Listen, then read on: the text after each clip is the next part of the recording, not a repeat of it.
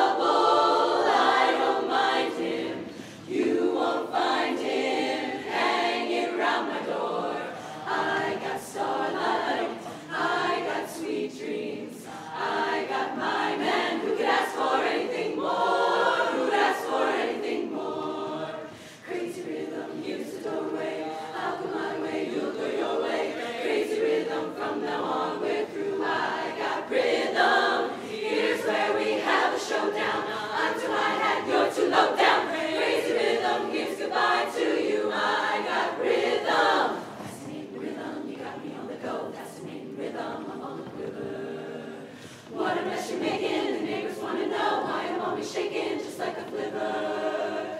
Each morning I get up with the sun, start hopping, never stopping, to find at night the work has been done.